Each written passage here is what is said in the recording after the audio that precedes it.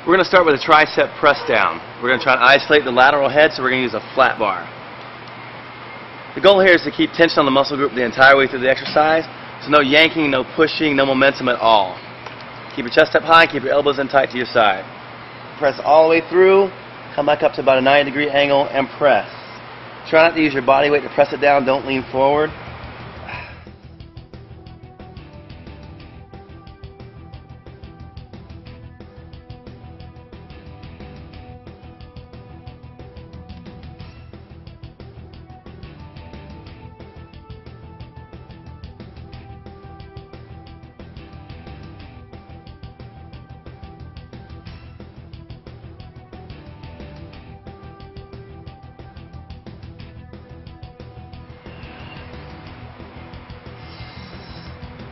Make sure you breathe out as you press down.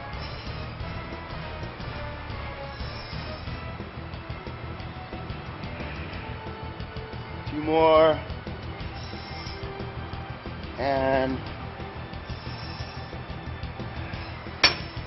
slow and controlled movements.